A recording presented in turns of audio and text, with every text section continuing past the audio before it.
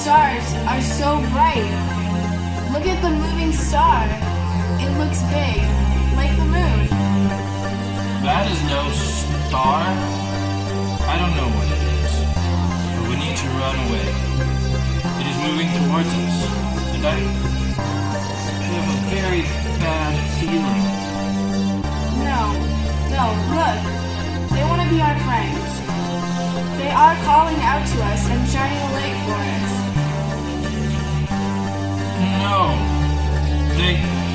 They're from another planet. They want to kidnap us. Run! Hold on to me! No, no, no! Stop! Stop! What is going on?